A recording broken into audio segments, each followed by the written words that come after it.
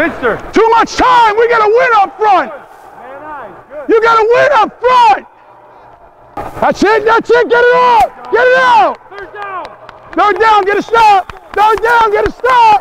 Third down. Get a stop. D, let's go. Hey, get these guys going on the sideline. Let's go, D.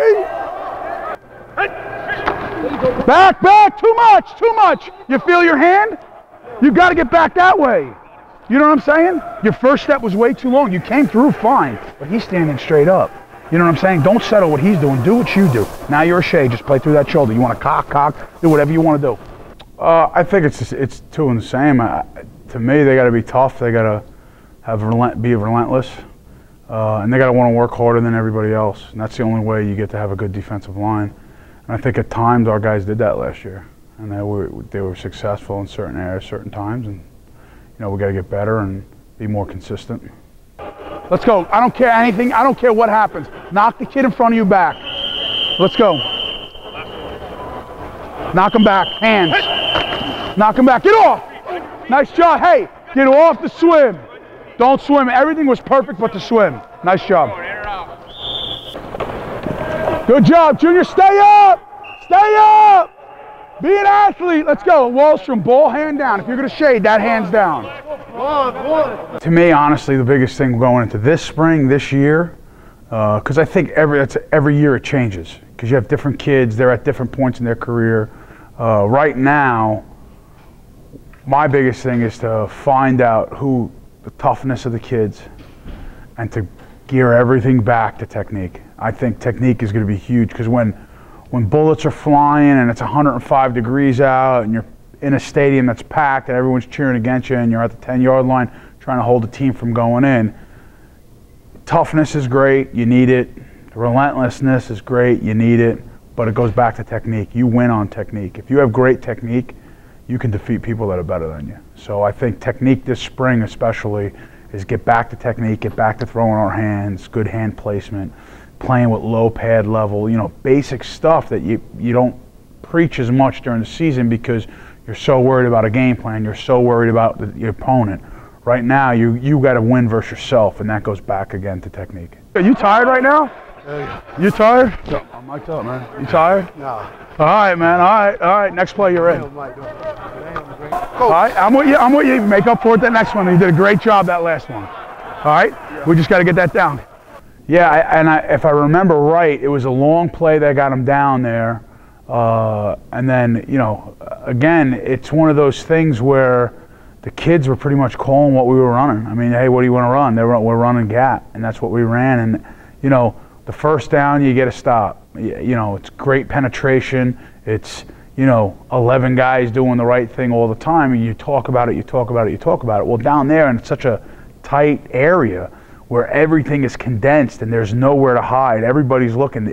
I mean, that's in, in the goal line situation is really the only situation you'll ever see in football uh, that you see all 11 guys inside a hash, close to the football, trying to get it in like that.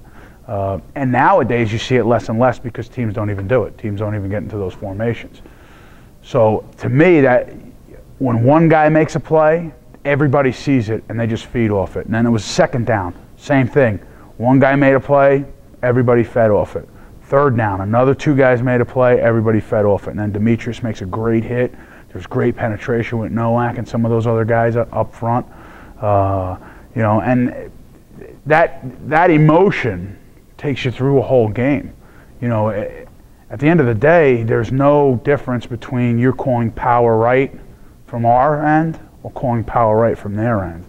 What separates you? Okay, yeah, you got maybe some bigger stronger kids. It's emotion uh, and technique. And if you can combine the two of them, you could be really, really good. There you go, there you go, there you go. Nice job, nice job. Hey, third down, get a stop. Get a stop, get him out of field goal range. As I, as I get to here to clear, I don't want to widen my feet out. I want to get here. You know what I'm saying? You're doing this, your feet are getting this wide, and then you're stepping through here. You're finally stepping through, but now let's get to here. Boom, I'm here. My, I'm facing the quarterback, right? And now I'm stepping through. See how much easier that is? I mean, a guy, a guy with one leg could do it. You could do that. to me, I think the biggest thing I miss is what I just talked about, emotion. I ca uh, the closest thing I can get to it now is being a coach standing on the sideline.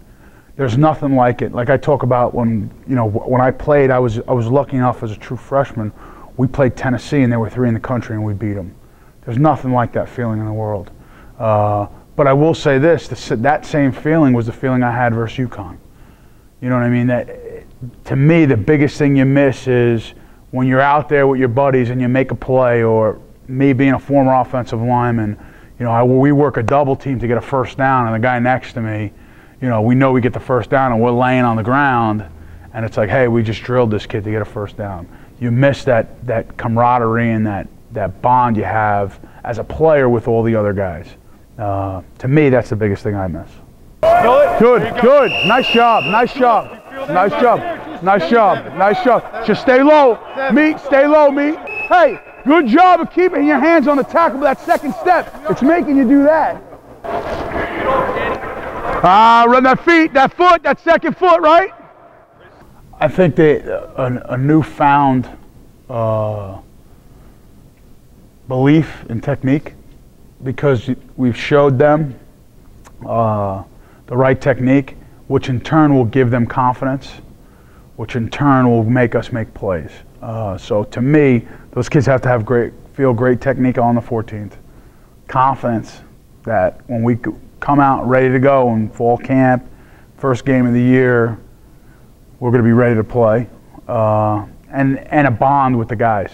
Like I, I we need to be closer because it's not a secret. Close teams normally win. They don't win all the time, but the really, really good teams are close teams. And I, I, don't think that's a, a secret. So we have to get become closer as a unit, come become closer as a uh, defense, become closer as a team. So to me, it's hard to let somebody down that you care about. And that's one of the things that we're trying to preach, and hopefully that's what happens on the 14th.